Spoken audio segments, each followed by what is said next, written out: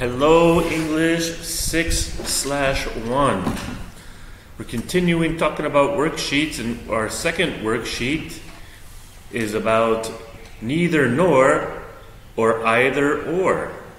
We have 10 questions, but before you get started, remember to write your nickname, name, and number on your worksheet. In this worksheet, the 10 questions have blanks, and the blanks are dot, dot, dot, dot, dot, dot, dot.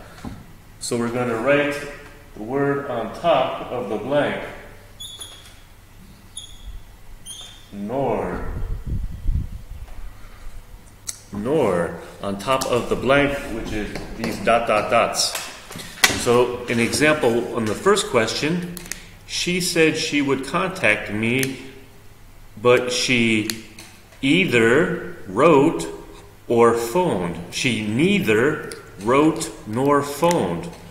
So number one would be, but she neither wrote nor phoned. So she didn't get in contact at all. She said she would, but she didn't. She neither wrote nor phoned.